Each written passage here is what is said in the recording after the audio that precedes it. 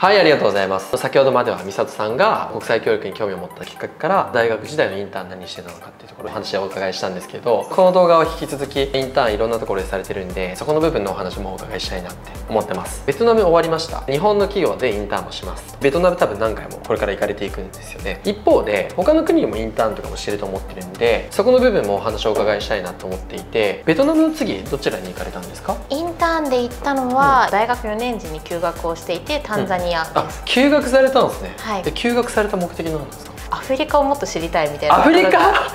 そうだったんですね。えちなみに今までお聞きしたバックグラウンドだと、はい。ベトナムまでなんですよね。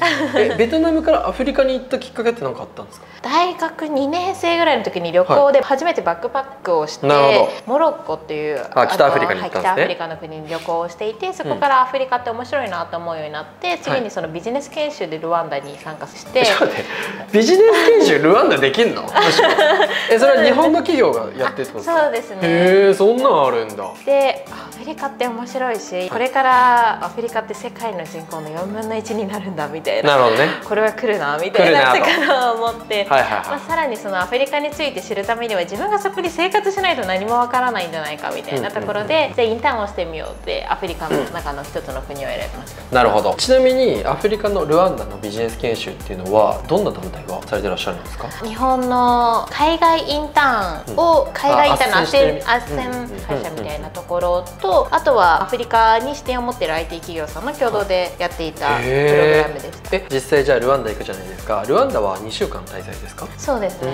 じゃあ2週間滞在されて、まあ、いろんなところ回ってそれで一番最初にやったことって何でしたっ一番最初は本当現地のスタートアップさんはいはい。はいを回っていくみたいな形で、けあじゃあルワンダ出身のスタートアップ企業に対してそうです訪ね問しにそうですね。決済サービスだったりとあか、あなるほどね。オンライン医療サービスをやっているようなところにすごいな。実際どうでした？遅れているって思っていたアフリカの中で日本は法規制でできないようなことをバンバンと進めていっていて、じゃあこれからこの国だけでなくてアフリカにどんどん広げていくぞっていう気概みたいなところにこれは私は持っていない気概だなっていうところに 感動しました。あじゃあそこでスタートアップさん見ました。その次は何したんですか？まず現地の企業さんであったりとか、日本に経営されている方の経営改善であったりとか、うん事業改善みたいなところをやっていまあした。そうなんですね。それじゃあいろんなところを見て一つに絞ってそこに対して経営改善をするみたいな感じなんですか？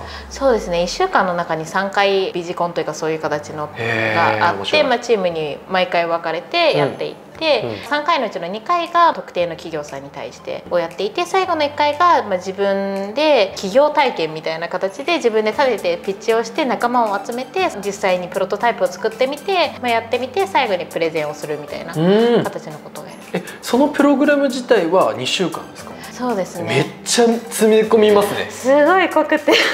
しんどくないですか？しんどくて。もう寝たいって思いながら。やばいなって思いました今。その2週間でそれ全部やるんですもんねそうですね。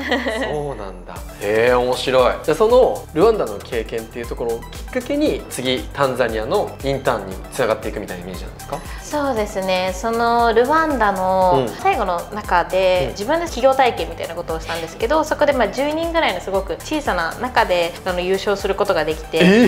優勝したんですか？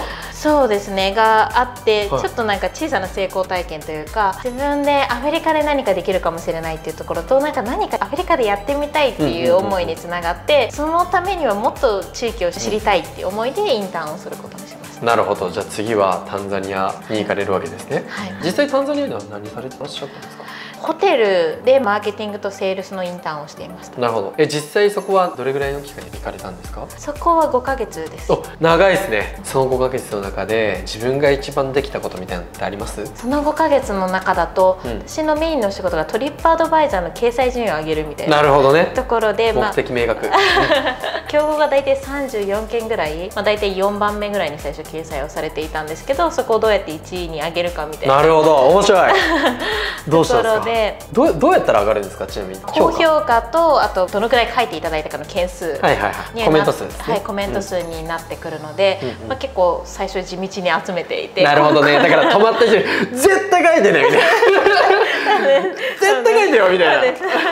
地道に仲良くなっていって受付とかで「いいねそのタトゥーどこで作ったの?」みたいな。ことで少しずつず仲良くなっていって、最後に帰る時に「えどうだった?」みたいな。うんうんうんうん「書いてもらえないかな?」みたいな話とかをうんうんうん。していってます。なるほど。え実際じゃあそれって5ヶ月間の中で順位上がりました？はい結局1位になって、マジ？すげえな。そうですね、まあ、アルゴリズム的なところがあって、1位の件数が200件ぐらい差があったんですけど、うん。200件取らないといけないと思ってたんですけどそれより前に割とそのペースが早かったので達成ができて、はいはいはい。大体多分4ヶ月目ぐらいには達成できたかな。あすごい。それはめちゃくちゃいいねだからコメントの総数だけじゃなくて例えば1週間とか1日にどれぐらい評価とコメントがされたかっていうところもアルゴリズムの一つの要素として入ってたってことなのかもしれないですね。そうですね。はい。うーん面白い。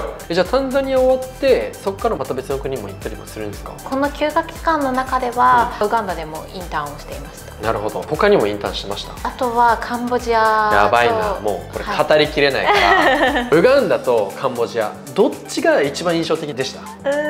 このどっちかだけを深掘りします。カンボジアに。カンボジアで。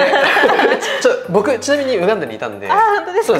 ウガンダは何してたんですか？ウガンダは、えっと、現地の NGO さんで社会起業家さんの支援みたいなことをされているところで IT 支援。をそんなことやってんの？なるほど。じゃあちょっとウガンダも聞きたいんですけどカンボジア行きましょう。カンボジアは何してたんですか、日系の食品卸の企業さんでインターンをしてました、うーん。じゃあ日本の企業さんでカンボジアに支店があるところの。そうですね。カンボジアで登記をされていあてまあ、マネージャーの方が日本人ということうんあそういうことなんですね。実際そこはえ食品の卸？そうですね。主に言うと日本の鮮魚であったりとあかー理解。冷凍食品とかそういったものを輸入してはい。販売をしてます、なるほど。じゃあ日本から輸入してその日本で輸入した商品を卸してるっていうイメージ。そうですね。はい、うん。卸先は飲食店とかスーパーですか？そうですね。飲食店スーパーあとホテルみたいなところがメインにはなりました、実際そこでどれぐらいの期間で何されてらっしゃったんですか？2ヶ月で、2ヶ月ってかなり短いので短いですね。としては、新しいプロジェクトで日本から空輸した鮮魚をカンボジアの一般の顧客さん向けに販売をするみたいな新しい事業を始めるっていうタイミングだったのでちょうどその自分と期間がかぶっていて、うん。はいはいはい。販売活動っていうののプロモーションだったりとか、まあ、どういったものを仕入れてくるのかみたいなところをお話をしたりとかをしています。へえじゃあそういうのをやってたんですね。はい。えちなみにそれで 2C を増やしていくって言って顧客ゼロなわけじゃないですか、はい。今までその企業は 2B 向けにやってたってことですよね。そうですね。商社なので、うんうんうん。2B 向けにやっていて今後は小売事業も拡大していきたいみたいなところがあって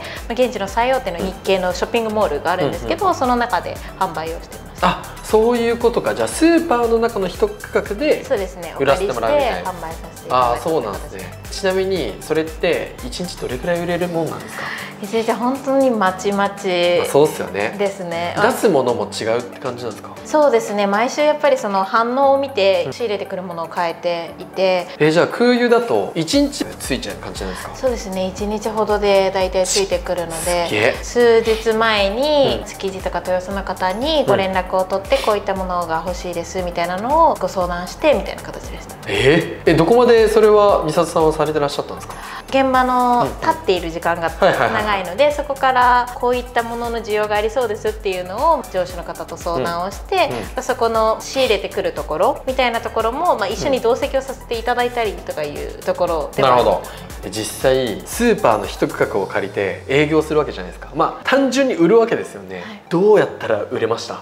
結構面白かったなと思うのが、ウニを販売していた時に、はいはいはい。ウニ 100g で最初販売していたんですけど、うんやっぱりそれだと価格帯が50ドルぐらいとか、ある程度高いので日本人でもやはり手が出しにくいっていうところで買ってくださったお客様のカンボジア人の方が、うん。カンボジア人はどんなものでも小分けにするんだよみたいな。うんうんうんうん。洗剤も小分けで売るみたいなのお話をされていてあじゃあ小分けで売ってみようと思って、まあ 30g ずつみたいなはいはいはい販売とかにしてみるとちょっとじゃあこれを買ってみようかなとか、うんうん海外に行ったことがあって食べたことがあるから少ない量でも食べてみたいみたいな方が購入してくださるみたいな。なるほど。そっか。じゃあ 100g で売るよりも 30g で小分けした方が購入頻度上がったってことなんですね。そうですね。ああ面白いですね。なるほど。そんな経験をされたわけですね。ありがとうございます。もういろんなインターンをされてたっていうところをこの動画ではお聞きしたんですけれども、まあ、次の動画ではアフリカンツリーの部分のお話をしていただこうかなと思いますというところで。はい、この動画が面白いなと思ったらぜひグッドボタンとチャンネル登録をよろしくお願いします。はいじゃあ本日はありがとうございました。ありがとうございました。